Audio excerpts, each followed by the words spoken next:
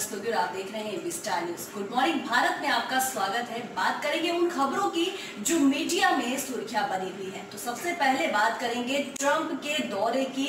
जी हाँ जिस तरह से अमेरिकी राष्ट्रपति डोनाल्ड ट्रंप अपनी पत्नी और अपनी बेटी युवांका के साथ भारत के दौरे पर आने वाले हैं। अहमदाबाद में मोटेरा स्टेडियम में आएँगे जहाँ पर केम छो ट्रंप का कार्यक्रम का एक आयोजन किया जाएगा।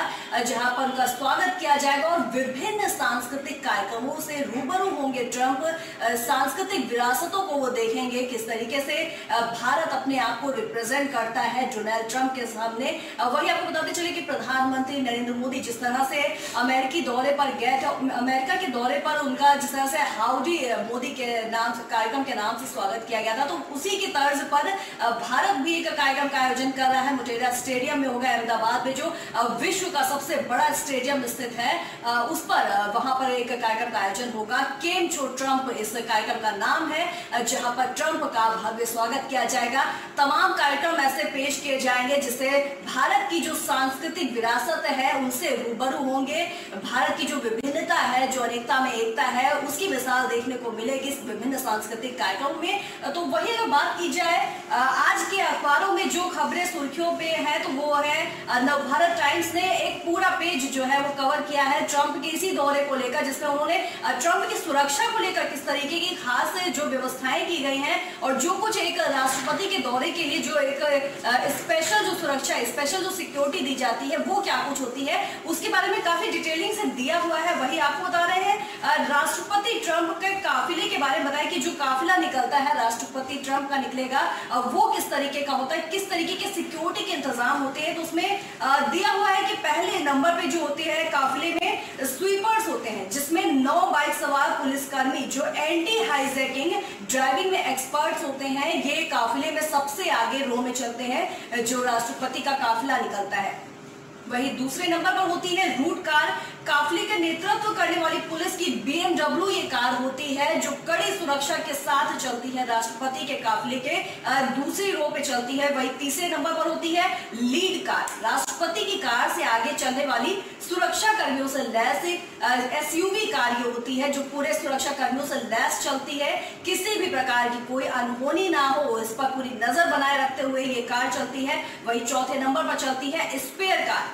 हमलावरों को बहकाने के लिए प्रेसिडेंट की जैसी दूसरी कार, ये स्पेयर कार होती है। ये same as it is president के कार के जैसे ही ये कार होती है जिसे एक बहकावे के लिए रखा जाता है कि अगर कोई हमलावर ये सोचता है कि प्रेसिडेंट पर कोई हमला करना है तो उसे एक भ्रमित करने के लिए ये कार एक चलती है। ये चौथे नंबर पर रो में चलती है, जिससे कि एक बार बहकावा हो जाए और कहीं ना कहीं वो चूक जाए। वही पाँचवें नंबर पर होती है द बीस्ट वो कार जिसमें प्रेसिडेंट सवार होते हैं, इसमें राष्ट्रपति का बहरूपिया भी मौजूद रहता है। तो बीस्ट कार में इस तरीके का एक बहरूपिया भी रखा जाता है ताकि प्रेसिडेंट के ऊपर किसी भी तरीके का कोई हमला ना हो पाए, बहरूपिया भी इसमें बैठाला जाता है। और यही मुख्य कार जो होती है, वो ये होती है जिसमें प्रेसिडेंट सवार होते हैं। तो वही छठे नंबर पर होती है हाफ़ बैक शेवरन में राष्ट्रपति की सुरक्षा में तैनात क्लोज प्रोटेक्शन ग्रुप के जवान होते हैं इस छठे नंबर कार में। तो वही सातवें नंबर पर जिस तरह से दिया हुआ है watch tower remote control bomb और हथियारों को रोकने के लिए तैनात कर अगर कोई बम या किसी तरीके की कोई एक्टिविटी तरीके की होने वाली है या इसके लिए पहले से तैयार है इस कार में रिमोट कंट्रोल बम और हथियारों को रोकने के लिए, ये कार पूरी तरह से तैनात रहती है राष्ट्रपति की सुरक्षा के लिए। तो वही आठवें नंबर पर होती है कंट्रोल कार न्यूक्लियर बटन के साथ सैन्य अधिकारी और डॉक्टर इसमें मौजूद रहते हैं। किसी भी प्रकार की कोई अप्रिय घटना ना घटित हो इसे लेकर पहले से एक अलर्ट के तौर पर ये कंट्रोल कार साथ में चलती है। नवे नंबर पर होती है hawk eye renegade secret service counter assault team मौजूद होती है इस कार में। इसमें secret service counter assault team होती है। किसी भी तरह की कोई घटना के लिए इसमें पूरी एक टीम मौजूद रहती है जो पूरी इसके इसको कवर करती इस पर नज़र रखती है कि किसी प्रकार की कोई घटना ना हो और उसे किस तरीके से कंट्रोल करना है, इसके लिए ये टीम इसमें मौजूद रहती है।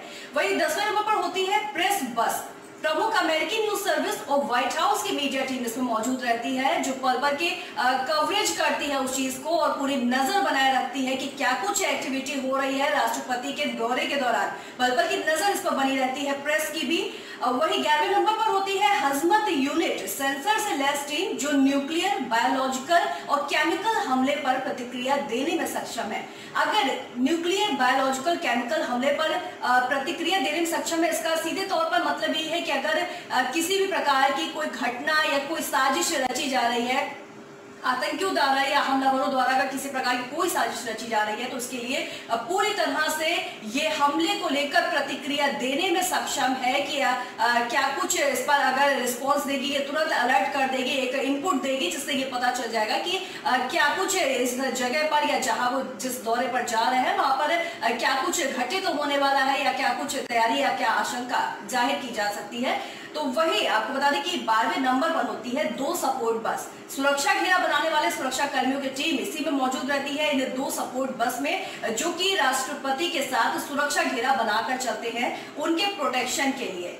तो वही, इसी के साथ आपको बताते चले कि अमेरिकी प्रेसिडेंट डोनाल्ड ट्रंप ने दौरे से पहले ऊँचे शुल्क का मुद्दा भी उठाया है। आपको बता दें कि डोनाल्ड ट्रंप पहले भी कह चुके हैं कि वो प्रधानमंत्री नरेंद्र मोदी को काफ़ी पसंद करते हैं, उनकी दोस्ती की मिसाल भी दी जाती है। इसके साथ ही साथ वो कहते हैं कि अमेरिकी उत्पादों पर जो शुल्क है वो काफ़ी ऊँचे भारत लगाता है। इसे लेकर उन्होंने बोला कि ऊँचे शुल्क लगाने में चैंपियन है भारत, ऐसा वो पहले भी टिप्पणी भी कर चुके हैं। तो इस तरीके से अमेरिकी प्रेसिडेंट डोनाल्ड ट्रंप ने दौरे से पहले ऊँचे शुल्क का मुद्दा भी ज़रूर उठाया है और इसके साथ उन्होंने कहा है कि उम्मीद है मोदी सुनेंगे। तो कहीं ना कहीं उन्हें उम्मीद भी है कि ये जो ऊँचे शुल्क का मुद्दा है वो उठाएँगे ज़रूर और इसमें शायद वो एक उम्मीद जता रहे हैं प्रधानमंत्री नरेंद्र मोदी से कि शायद ये जो ऊँचे शुल्क है, इसमें कोई रियायत बढ़ती जाएगी। वही आपको बताया जाए कि एक तरीके से ये अनौपचारिक एक दौरा है राष्ट्रपति का, अमेरिकी राष्ट्रपति डोनाल्ड ट्रंप का, लेकिन ऐसा भी कहा जा रहा है कि पाँच करार भी हैं जिन पर जो प्रस्तावित तो हो सकते हैं और इन पाँच करारों में सबसे ज़्यादा जो फोकस है वो है सुरक्षा। सिक्योरिटी को लेकर है, गृह मंत्रालय की सुरक्षा को लेकर इस पे चर्चा हो सकती है। तो इस तरीके के तमाम बिंदु है, पाँच करार जो कहे जा रहे हैं अहमदाबाद, दिल्ली और आगरा का दौरा है, जिसमें ट्रंप निकलेंगे अपनी पत्नी पत्नी और अपनी बेटी के साथ पहुँचेंगे। वही अगर बात आगरा की की जाए तो आगरा के ताजमहल का दीदार करने जब पहुँचेंगे ट्रंप तो उसके लिए भी सुरक्षा की काफ़ी इंतज़ाम किए गए हैं। यूपी के सीएम योगी आदित्यनाथ ने पूरी कमान संभाल रखी है उस सुरक्षा को लेकर चप्पे चप्पे पर नज़र रखी जा रही है, जिस तरीके से सफ़ाई की जा रही है। वही अगर बात की जाए आगरा की बात करें तो यमुना नदी का ज़िक्र भी ज़रूर होगा। तो यमुना नदी की सफ़ाई पर खास ध्यान दिया जा रहा है कि किसी भी तरह की कोई गंदगी या कुछ इस तरीके का का नाम नज़र आए तो इसलिए इसकी पूरी सफ़ाई का ध्यान रखा जा रहा है। वही आपको बताते चले कि आगरा में ताजमहल के अंदर प्रवेश करने के लिए जिस तरह से शू कवर दिए जाते हैं तो उसे शू कवर को भी खास शू कवर भी बन, बनवाए गए हैं। ट्रंप के लिए कि रेड और व्हाइट कलर के दो शू कवर भी स्पेशली बनवाए गए हैं ट्रंप के लिए जिससे वो अंदर जाएँगे और ताज का दीदार करेंगे। तो कुल मिलाकर देखा जाए कि आगरा दिल्ली और अहमदाबाद में पूरी नज़र बनाए हुए है। प्रशासन पूरी तरह से तैनात है। अमेरिकी सैटेलाइट से भी नज़र रखी जाएगी पूरे राष्ट्रपति के दौरे को लेकर कि कहाँ वो, जहाँ भी वो जाते हैं, किस तरीके से पूरी सुरक्षा उनको देनी है। उनकी सुरक्षा को लेकर कोई भी जरा सी भी लापरवाही बर्दाश्त नहीं की जाएगी। इसे लेकर देखने को मिल रहा है कितना कुछ अलर्ट है प्रशासन और लगातार इस पर फोकस किया जा रहा है। वही आपको बताने चले, अमेरिकी पुलिस ट्रंप की सुरक्षा में तैनात होगी। यही आपको बताना था कि जिस तरीके से भारत में पूरी तरीके से प्रशासन तैयार है, वही अमेरिकी पुलिस भी ट्रंप की सुरक्षा में तैनात रहेगी। एयरफोर्स 24 फरवरी को साढ़े सात बजे दिल्ली एयरपोर्ट के टेक्निकल एरिया में लैंड करेगा, जहाँ पर कड़े इंतज़ाम किए गए हैं सुरक्षा के।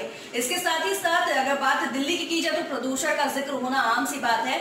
प्रदूषण को लेकर भी, प्रदूषण से बचाने के लिए सड़कों पर स्प्रे छिड़का जा रहा है। हालाँकि अभी प्रदूषण का स्तर सामान्य चल रहा है, लेकिन ये सामान्य स्तर बना रहे। ट्रंप के दौरे का खास तौर पर बना रहे। इसे देखते हुए विशेष एहतियात बढ़ता जा रहा है। सड़कों पर स्प्रे छिड़का जा रहा है धूल बढ़ा रही है पीएम चैनल मतलब लगातार जो धूल बढ़ रही है धूल की वजह से जो प्रदूषण का स्तर है, वो भी बढ़ रहा है। सीपीसीबी के अनुसार इस समय प्रदूषण की वजह धूल है, हवाओं के साथ उठ रही धूल की वजह से पीएम टेन बढ़ रहा है। सर्दियाँ भी अधिक नहीं है तो खुले में आग लगाने की घटनाएँ कम हो गई है। अमेरिकी राष्ट्रपति के संभावित विज़िट के एरिया के आसपास 24 घंटे मॉनिटरिंग करने को कहा गया है। तो लगातार प्रदूषण को लेकर भी पूरी तरह से अलर्ट नज़र आ रहे हैं। वही अमेरिकी प्रेसिडेंट डोनाल्ड ट्रंप के जो काफिले की बात हमने की थी, उसमें जो एक कार मुख्य रूप से थी, द बीस्ट, उसके लिए कहा जा रहा है कि एक करिश्माई कार है। सुरक्षा घेरे के बीचों बीच चल रही अमेरिकी राष्ट्रपति ट्रंप की लिमोजन वाकई खास होती है। हर राष्ट्रपति की कार उनकी आवश्यकता के अनुसार डिज़ाइन की जाती है। तो वही अगर जब राष्ट्रपति डोनाल्ड ट्रंप की कार की बात की जाए तो ये car bomb proof chemical attack और न्यूक्लियर अटैक प्रूफ होते हैं। यानी सुरक्षा के लिहाज से एकदम परफेक्ट। क्या क्या इसके और भी खास इसके फीचर्स हैं वो भी आ, काफ़ी डिटेलिंग में नव भारत टाइम्स ने आ, दिया हुआ है कि क्या कुछ इसमें सिस्टम है फायर फाइटिंग सिस्टम है आँसू गैस है स्मोक स्क्रीन मौजूद है आठ इंच मोटे केमिकल हमले से पूरी तरह से ये सुरक्षित है। तो द बीस्ट कार का ज़िक्र इसमें अच्छे से किया गया है और डिटेलिंग में दिया गया है कि आखिर क्या होती है अमेरिकी प्रेसिडेंट डोनाल्ड ट्रंप की द बीस्ट जिसे खास तौर पर राष्ट्रपति के लिए बनाया गया है उसमें वो सारे फीचर्स मौजूद है जो एक राष्ट्रपति की सुरक्षा के लिए होने चाहिए। 112 साल पुरानी डायना बेंच पर बैठकर ताजमहल का दीदार करेंगे ट्रंप और मिलेनिया। भारत दौरे पर 24 फरवरी को आ रहे हैं अमेरिकी राष्ट्रपति डोनाल्ड ट्रंप और उनकी पत्नी मिलेनिया। 112 साल पुरानी संगमरमरी बेंच पर बैठकर ताजमहल का दीदार करेंगे। ब्रिटिश शासन के दौरान लॉर्ड कर्जन 1907 और 8 में ताजमहल के सेंट्रल टैंक पर लकड़ी की बेंच हटवाकर मुगलिया शैली की संगमरमर से तामीर कर ये बेंच लगवाई थी।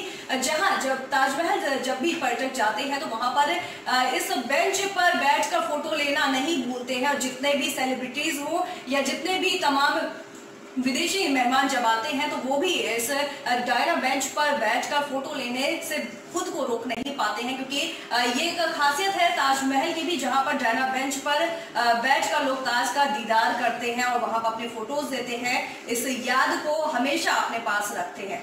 वही ताजमहल के 500 मीटर में ट्रंप की कार को इजाज़त भी नहीं दी जाएगी। इस दौरान अमेरिका के राष्ट्रपति ट्रंप की कार द बीस्ट को ताजमहल के 500 मीटर में जाने की इजाज़त अब तक नहीं मिली है। ये बड़ी खबर है कि ताजमहल के 500 मीटर में ट्रंप की कार को इजाज़त अभी तक नहीं मिली है। वही सूत्रों के अनुसार अमेरिकी अफसरों के गृह मंत्रालय और विदेश मंत्रालय में बात चल रही है। अधिकारियों ने बताया है कि द बीस्ट के लिए अस्थायी पास भी जारी कर दिया जाए, लेकिन गुरुवार रात तक इस पर कोई निर्णय नहीं हो पाया है। प्रशासन की तैयारी गोल्फ कोर्ट से ही ट्रंप को ताजमहल के गेट तक ले जाने की है। तो अब पूरी तैयारी कर ली गई है।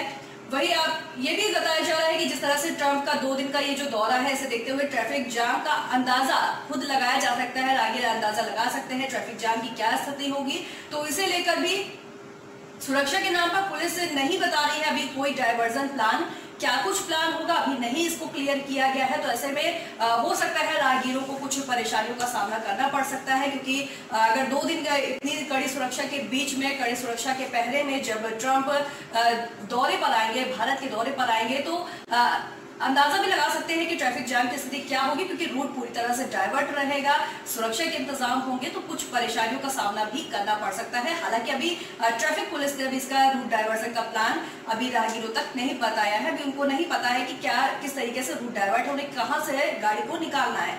ये अभी नहीं पता है। वही आपको बता दें कि दस हज़ार गमले रखे जाएँगे। तो एक जो कहते हैं, शोभा बढ़ाई जाती है जब हमारे घर में जिस तरह से कोई मेहमान आता है और उसको जितना अच्छे से अच्छा हम अपने रिप्रेजेंट करते हैं, ये हमारी कोशिश होती है। इसी तरीके से भारत के दौरे पर जब आ रहे हैं डोनाल्ड ट्रंप तो दस हज़ार गमले रखे जाएँगे। खूबसूरती को और अधिक निखारा जाएगा। लुटियंस जोन समेत नई दिल्ली का बाकी का एरिया भी खूबसूरती के मामले में पूरी दिल्ली से अलग है। ग्रीनरी से भरपूर इस इलाके को वैसे तो एनटीएमसी से पहले पहले से ही काफ़ी मेंटेन करके रखा हुआ है और गणतंत्र दिवस के दौरान हाल ही में से पूरे इलाके को नए सिरे से चमकाया भी गया था। अब अमेरिकी राष्ट्रपति डोनाल्ड ट्रंप की अगुवानी के लिए एक बार फिर से नई दिल्ली के चप्पे चप्पे को चमकाने का काम किया जा रहा है। इसके लिए ही एनडीएमसी के हार्टिकल्चर विभाग के साथ साथ हेल्थ डिपार्टमेंट और सिविल इंजीनियरिंग विभाग के भी हज़ारों कर्मचारी दिन रात काम में जुटे हुए हैं।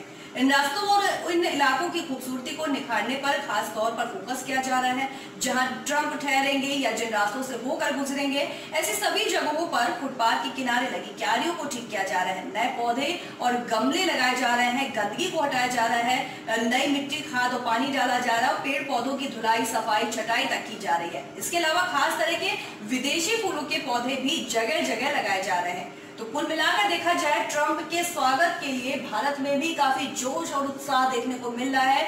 और ये सभी पेपर्स के, चाहे जो भी न्यूज़पेपर है, सभी की सुर्खियाँ है। जिस तरह से राष्ट्रपति के राष्ट्रपति बनने के बाद ट्रंप का ये भारत का पहला दौरा है, और वो अपने पहले भारत दौरे पर जब आ रहे हैं और जिस तरह से प्रधानमंत्री नरेंद्र मोदी का, अमेरिका में जिस तरह से राउडी मोदी के कार्यक्रम के साथ भव्य स्वागत किया गया था तो बराबरी से उसी तर्ज पर स्वागत करने की पूरी तैयारी भारत ने भी कर रखी है। केम छो ट्रंप कार्यक्रम से स्वागत किया जाएगा। ट्रंप का, उनकी पत्नी और उनकी बेटी का स्वागत किया जाएगा और पूरी तैयारी कर रखी है। आगरा में भी यूपी सीएम योगी आदित्यनाथ ने कमान संभाल रखी है। तो कोई भी लापरवाही बर्दाश्त नहीं की जाएगी और प्रशासन पूरी तरह से मुस्तैद नज़र आ रहा है कि किसी प्रकार की कोई भी चूक इस तरीके की ना हो, जिससे कि कहीं से भी भारत की छवि को नुकसान पहुँचे। वही ये भी कहा जा रहा है अंदेशा भी लगाया जा रहा है कि पाँच करार है। जिन पर वार्ता हो सकती है और जो विदेशी रिश्ते हैं, क्योंकि जितने अच्छे रिश्ते हैं, ट्रंप जिस तरह से कहते हैं कि प्रधानमंत्री नरेंद्र मोदी उनके बहुत अच्छे मित्र हैं प्रधानमंत्री भी यही बात बोलते हैं, ट्रंप से उनके अच्छे रिश्ते हैं, और उन्होंने भी जिस तरह से ट्वीट किया है, उन्होंने बोला है कि ट्रंप से जो दोस्ती है, वो पूरे विश्व के लिए बहुत ही फ़ायदेमंद होगी। कुल मिलाकर देखा जाए तो विदेशी दौरे को लेकर जिस तरीके से अगर विदेशी रिश्ते मज़बूत होते हैं तो वाकई ये है कि एक विश्व की ताकत जो है, वो विश्व की ताकत मज़बूत होती है। तो कुल मिलाकर देखा जाए तो ट्रंप और प्रधानमंत्री नरेंद्र मोदी की दोस्ती क्या रंग लाती है ये देखना होगा, क्योंकि पाँच करार पर बात होने की संभावना है। वही अगर दूसरी प्रमुख खबर की बात की जाए तो भारत में अगर जो प्रमुख खबर इस वक्त जो मुद्दा बना है, वो है शाहीन बाग। शाहीन बाग में जिस तरह से वार्ताकारों और प्रदर्शनकारियों के बीच बातचीत का दौर जारी है और उसी को देखते हुए आपको बताते चले कि अभी तक विफल रही है ये वार्ता। प्रदर्शनकारी अपनी बात से अपनी बात पर ही अड़े हुए हैं, वो नहीं मान रहे हैं। उनकी नाराज़गी सीधे तौर पर केंद्र सरकार से है, क्योंकि केंद्र सरकार का कोई भी नुमाइंदा नहीं पहुँच रहा है उनसे बात करने के लिए। इसे लेकर एक नाराज़गी देखने को मिल रही है बातचीत पर। एक बार फिर बात नहीं बनी है इक्कीस फरवरी को। शाहीन बाग में सीए के खिलाफ चल रहे प्रदर्शन में वार्ताकारों से तीसरे दिन की बातचीत के बाद भी कोई हल नहीं निकला है। हालाँकि, इस दौरान वार्ताकारों ने प्रदर्शनकारियों को कई तरह के आश्वासन सहित लोगों की परेशानियों को बताया। बावजूद उसके प्रदर्शनकारी हिलने को तैयार नहीं है तो लगातार तीसरी बार वार्ताकारों ने बात की है। आपको बता दें कि जिस तरीके से केंद्र सरकार की चुप्पी सामने आई थी, जिसे लेकर सुप्रीम कोर्ट को दखल देना पड़ा था शाहीन बाग के मामले में, और वही सुप्रीम कोर्ट ने तीन सदस्य नियुक्त किए कि बातचीत करने के लिए वो जाएँगे, और ये तीन वकील इन प्रदर्शनकारियों के बीच पहुँचते हैं, उनसे बात करते हैं। समझाने की कोशिश करते हैं कि किस तरीके की समस्याएँ हैं और वो अपनी बातें साझा करें जिससे कि कुछ हल निकल सके, कुछ समाधान निकल सके, जिससे कि ये जो शाहीन बाग का इतने लंबे समय से प्रदर्शन चलता आ रहा है, इसे रोका जा सके। लेकिन तीन, तीसरे दिन भी ये जो वार्ता चली थी, इस वार्ता का कोई हल नहीं निकल सका है, क्योंकि प्रदर्शनकारी अपनी जगह से हटने को तैयार नहीं है। दो दिनों की वार्ता के बाद भी शुक्रवार को जब एक बार फिर वार्ता हुई तो सुप्रीम कोर्ट द्वारा नियुक्त वार्ताकार सीनियर वकील संजय हेगड़े और वकील साधना रामचंद्रन प्रदर्शनकारियों से बातचीत के लिए देर शाम शाहीन बाग पहुँचे, लेकिन उनके द्वारा की गई वार्ता बेनतीजा ही निकली। इनके कयास लगने लगे हैं कि अब इस पर सुप्रीम कोर्ट ही निर्णय लेगा। बता दें कि सुप्रीम कोर्ट के निर्देश तीन लोगों को वार्ताकार के लिए नियुक्त किया गया है। Miss senior advocate Sanjay Hegde हैं। तो वही जिस तरीके से लोगों के बीच में बात हुई है, वार्ता हुई है, लेकिन इस बात का कोई हल नहीं निकल पा रहा है और इस हल ना निकलने का भी एक जो कारण है, वो कारण यही सामने आ रहा है क्योंकि केंद्र सरकार जो एक चुप्पी अपनी साधे हुए है और किसी भी प्रकार से कोई, उनके बीच कोई नेता नहीं पहुँच रहा है, किसी प्रकार की कोई प्रतिक्रिया नहीं दी जा रही, कोई टिप्पणी नहीं की जा रही है तो वाकई एक नाराज़गी बनती भी है और शाहीन बाग के प्रदर्शनकारी इस बात से खासा खफा नज़र आ रहा है, जिसकी वजह से वो नहीं अपना प्रदर्शन रोकने का नाम नहीं ले रहे हैं। उनका साफ़ तौर पर कहना है कि नागरिकता संशोधन कानून को वापस लिया जाए, वरना वो अपना प्रदर्शन बंद नहीं करेंगे। इसी को देखते हुए लगातार ये जो प्रदर्शन है, इतनी ठंड में भी महिलाएँ और बच्चे तक प्रदर्शन में शामिल रहे, लेकिन बावजूद इसके केंद्र सरकार की तरफ़ से कोई प्रतिक्रिया सामने नहीं आई, कोई नेता उनके बीच नहीं पहुँचता है, जिससे खास नाराज़गी देखने को मिली और इन्हीं सबके बीच देखते हुए सुप्रीम कोर्ट का सख्त तेवर देखने को मिला जिसकी वजह से दिल्ली पुलिस को, दिल्ली सरकार को, केंद्र सरकार को नोटिस जारी किया गया, उनसे कार्रवाई के लिए पूछा गया कि आखिर क्यों नहीं इस मामले पर कार्रवाई हुई है लेकिन जब केंद्र सरकार की तरफ़ से चुप्पी ही सामने आ रही थी तो सुप्रीम कोर्ट ने दखल दिया उसके बाद में शाहीन बाग के लिए, जिस तरह से उन्होंने आदेश दिए थे कुछ के क्या कुछ नियम होते हैं? प्रदर्शन करने के क्या नियम होते हैं? आप इस तरीके से प्रदर्शन नहीं कर सकते हैं। आप उन जगह को पर प्रदर्शन नहीं कर सकते हैं, जहाँ से आम जन लोगों का आना जाना होता है और उसमें उन लोगों को परेशानी होती है, आप लोगों को परेशान नहीं कर सकते हैं।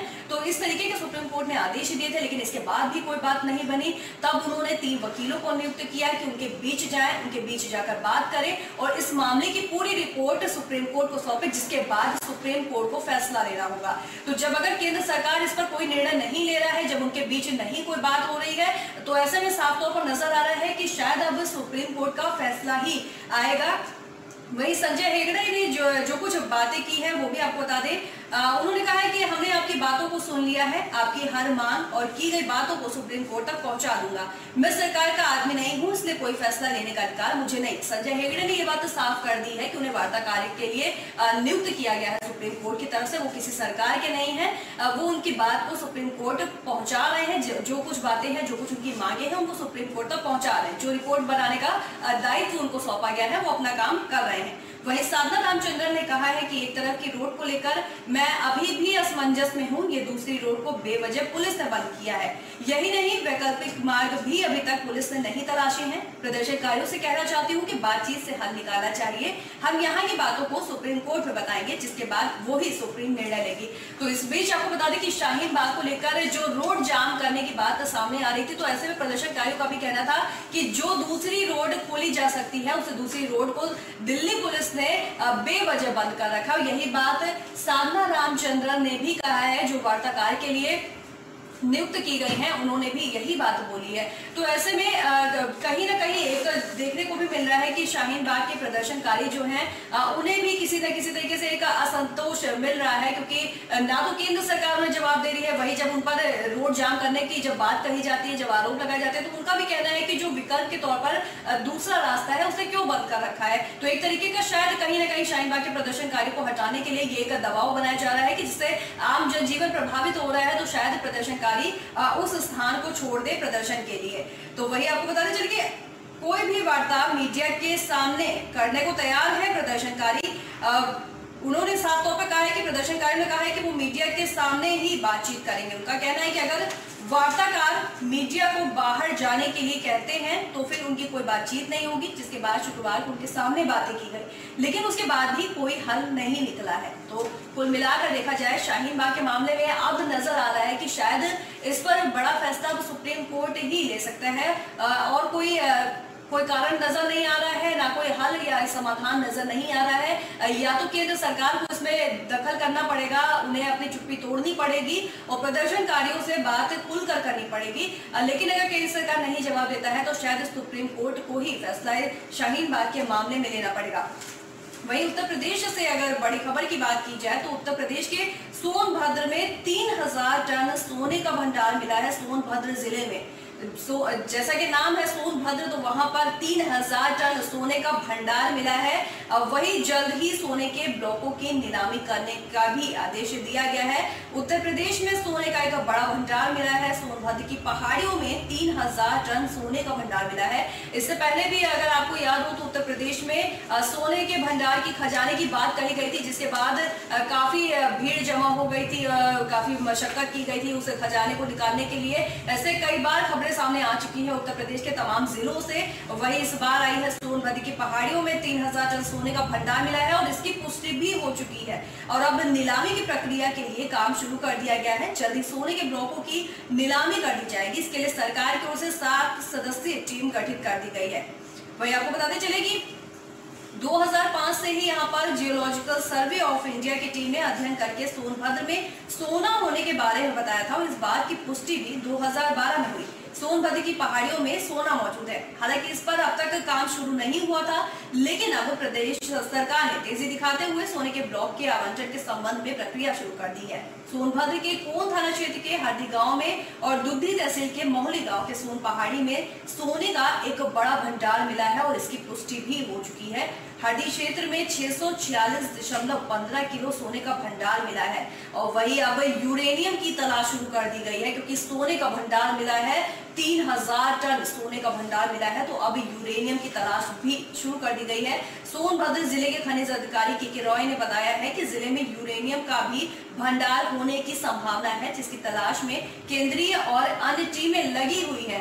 तो जिस तरीके से उत्तर प्रदेश के पहले भी इस तरीके की खबरें सामने आ चुकी है खजाना है आ, सोने का भंडार है आ, भारत देश को वैसे भी सोने की चिड़िया कहा जाता है लेकिन जिस तरीके से उत्तर प्रदेश के सोनभद्र से तीन हज़ार टन सोने के भंडार मिलने की पुष्टि हो गई है तो ये वाकई कहने का सार्थक सिद्ध होता है जिस तरीके से सोनभद्र में मिला है तीन हज़ार टन सोने के भंडार की पुष्टि हो चुकी है और अब इसकी नीलामी होगी। तो जिस तरीके से ये खबर सामने आई है सोनभद्र से। तो अब प्रदेश सरकार, जहाँ अभी तक राज्य सरकार इसको लेकर गंभीर नहीं था, अब राज्य सरकार भी गंभीर नज़र आ रहा है। तो इसी पर हम आगे भी अपनी चर्चा जारी रखेंगे। यहाँ रुकेंगे, एक छोटे से ब्रेक के लिए।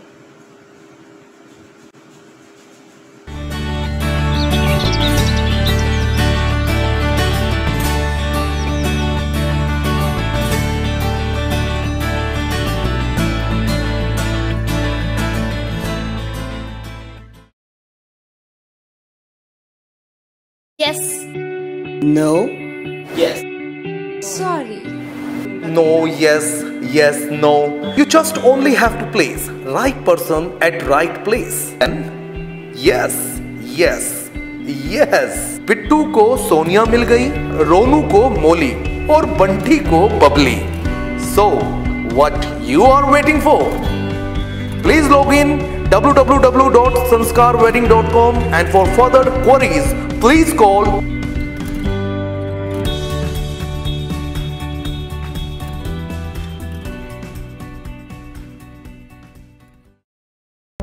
GST reform से लेकर कैशलेस इकोनॉमी तक। स्टॉक मार्केट के उतार चढ़ाव से लेकर अर्थव्यवस्था की बदलती चाल तक। बिज़नेस से जुड़ी हर छोटी बड़ी खबर मिलेगी आपको यहाँ। स्टॉक एक्सचेंज सिर्फ़ एवी स्टार न्यूज़ पर। अटक से लेकर कटक तक, कटक से लेकर कन्याकुमारी तक, नहीं छूटेगी एक भी खबर। वो चाहे कश्मीर की हो या फिर कोलकाता की, खेल के मैदान से सियासत के दंगल तक, हर स्टेट से आपको कराएँगे रूबरू। स्टेट 29 में, स्टेट 29 मतलब चप्पे चप्पे पर हमारी नज़र। सिर्फ़ एबी स्टार न्यूज़ पर। एबी स्टार न्यूज़ हर वक्त आपके साथ।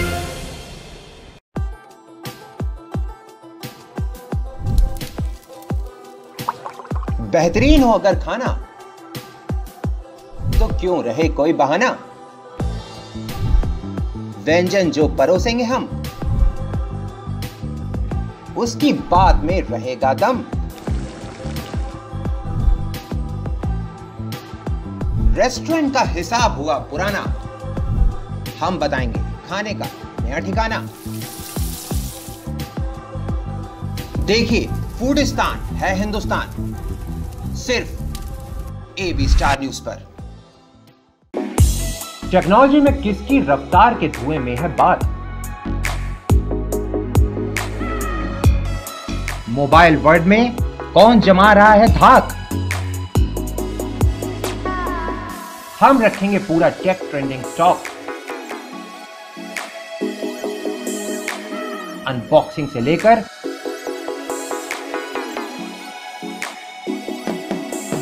ऑटो पर रहेगा हमारा पूरा अपडेट सिर्फ़ एबी स्टार न्यूज़ पर. काशी की लहरों से लेकर ताश के दीदार तक. सत्ता की गलियारों से लेकर जनता की आवाज़ तक। यूपी की हर छोटी और बड़ी खबर, वो चाहे जरायम की दुनिया की हो। या हो खेल के मैदान की यूपी की हर खबर से कराएँगे आपको रूबरू यूपी 75 में। सिर्फ़ और सिर्फ़ एबी स्टार न्यूज़ पर। Yes. No yes Sorry. No, yes, yes, no. You just only have to place right person at right place. And yes, yes, yes. Pittu को सोनिया मिल गई रोनू को मोली और बंटी को बबली सो what you are waiting for please log in www.sanskarwedding.com and for further queries please call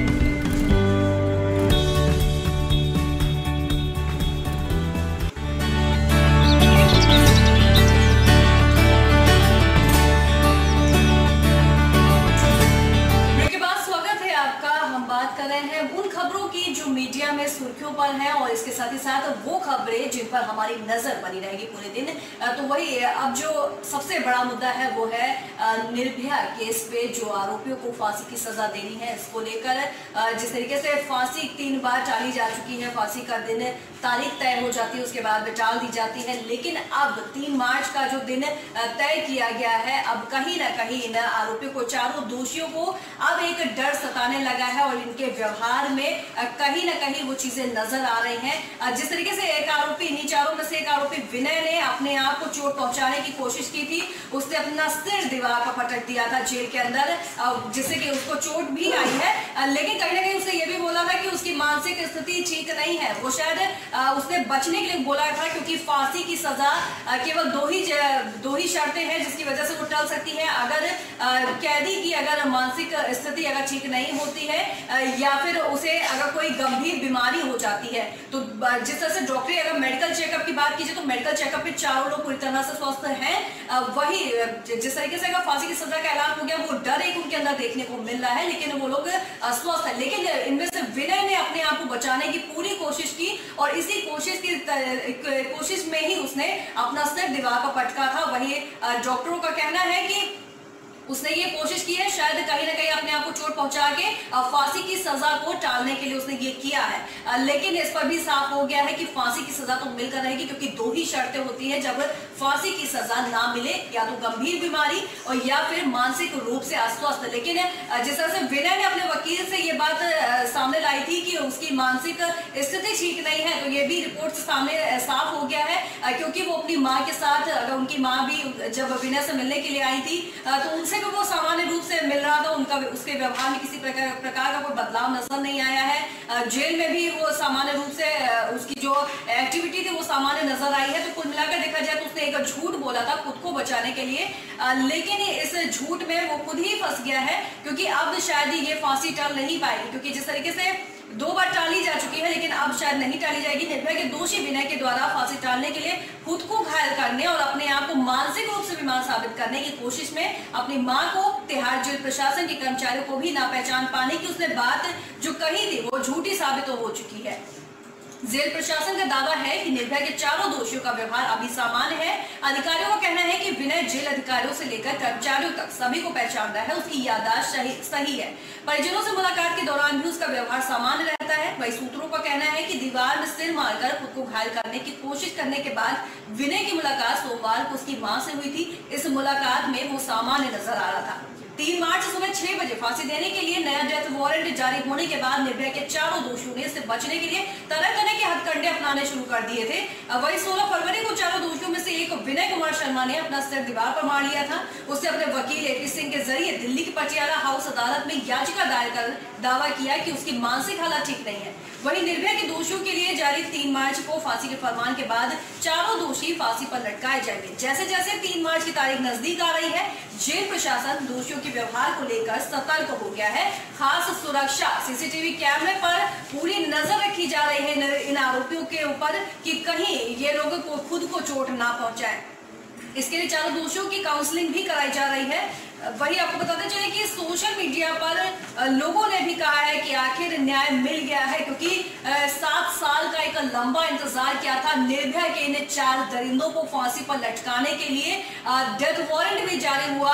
फांसी की तारीख का भी ऐलान हुआ, लेकिन दो बार टलने के बाद जिस तरीके से इन चारों आरोपियों को एक लग रहा था कि शायद अब ये बच जाएँगे, और कोई ना कोई ये बहाना करके कोई ना कोई हथकंडा अपना कर ये लोग अपने आप को बचा पाएँगे फांसी से, लेकिन शायद देश के कानून ने न्याय देने में शायद देरी तो ज़रूर लगाई, लेकिन पूरी प्रक्रिया के साथ न्याय दिया जा रहा है। क्योंकि इनको जब फांसी की सजा से पहले इन्होंने अपने सारे जो विकल्प थे, इन्होंने अपने विकल्पों का इस्तेमाल किया। लेकिन दया याचिका चाहे खारिज करनी हो चाहे वो क्यूरेटिव पिटीशन हो सारी चीज़ों पर इन्होंने सारे विकल्प अपने इस्तेमाल कर लिए हैं, लेकिन अब इनके पास कोई रास्ता नहीं बचा है। वर्ष 2012 में दिल्ली में हुए सनसनीखेज निर्भया सामूहिक बलात्कार और हत्याकांड मामले के चारों दोषियों के लिए जारी किए गए नए फांसी के फरमान के अनुसार तीन मार्च को सुबह छह बजे तिहाड़ जेल में फांसी पर लटकाया जाएगा। आदेश के बाद सोशल मीडिया पर लोगों ने कहा है कि देश की बेटी को आखिरकार न्याय मिल गया है। वही आपको बता दें कि जिस तरह से एक बार फांसी टल गई थी तो निर्भया की माँ ने केंद्र सरकार से भी काफ़ी नाराज़गी व्यक्त की थी। उन्होंने कहा था कि इतना देर लगा दी गई है, सात साल उन्होंने जिस तरीके से न्यायालय के चक्कर काटे हैं, उसके बावजूद उन दरिंदों को फांसी पर नहीं लटकाया जा रहा है। उनके साथ झूठ, एक झूठा खेल खेला जा रहा है, लेकिन सुप्रीम कोर्ट ने वक्त लिया, लेकिन वक्त के बाद ही अब न्याय भी मिलने वाला है। देश की बेटी को अब न्याय मिलने वाला है। देश से ही नहीं, विदेश से भी प्रतिक्रिया आई थी निर्भया कांड जिसने देश ही नहीं, पूरे विदेश को भी झकझोर दिया था। इस तरीके का एक जो जघन्य अपराध किया गया था, उससे पूरे देश से भी प्रतिक्रिया आई थी। निर्भया कांड के दोषियों को फांसी की सजा का सोशल मीडिया पर भी स्वागत हुआ। फैसला आने के कुछ समय बाद ही ट्विटर पर हैशटैग दुनिया भर में ट्रेंड करने लगा। वही गूगल और फेसबुक पर भी लोगों की प्रतिक्रियाओं ने इसे टॉप टेन में शामिल रखा। हालाँकि इस मामले में सोशल मीडिया पर एक बड़े तबके ने नाबालिग आरोपी को भी फांसी की सजा देने की मांग की।